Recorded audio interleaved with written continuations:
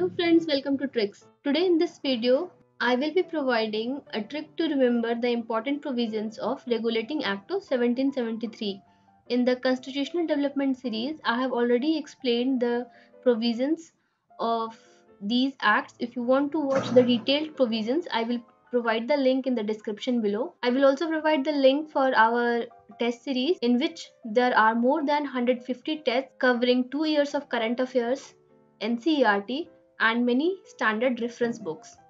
So coming to the Regulating Act of 1773, we know that uh, four important provisions were first Governor of Bengal was made Governor General of Bengal and the two other presidencies Madras and Bombay presidencies were subordinated to the Bengal presidency, subordination of other presidencies. Third, a Supreme Court was established in Calcutta and the company was stopped from doing any private trade or taking any bribe.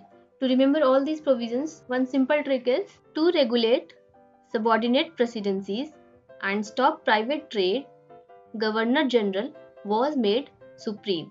From this sentence, regulate will help you in remembering that this sentence is about Regulating Act of 1773.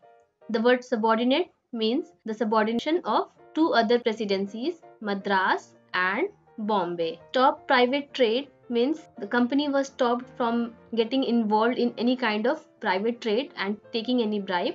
Governor General will help you in remembering that Governor of Bengal was made Governor General of Bengal and the word Supreme means a Supreme Court in Calcutta.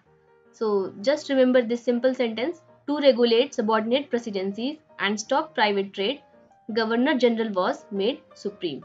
Hope you like this trick. I will be making similar tricks for all other constitutional development acts. Keep watching and don't forget to hit like button and check our test series.